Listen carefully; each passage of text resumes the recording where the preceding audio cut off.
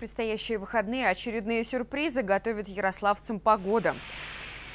По прогнозу синоптиков, необычный зимний дождь может сменить умеренно морозная погода и обильные снегопады. Возможен гололед и сход наледи с крыш. Городские власти призывают ярославцев к осторожности на тротуарах и дорогах.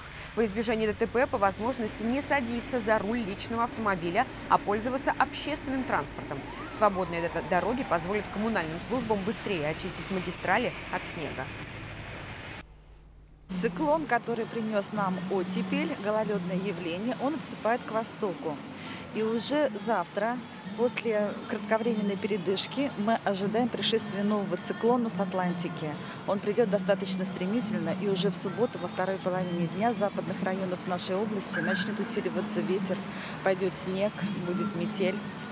Э, температуры, если сегодня ночью температура у нас будет минус 4, минус 9 градусов, завтра днем минус 2, минус 7.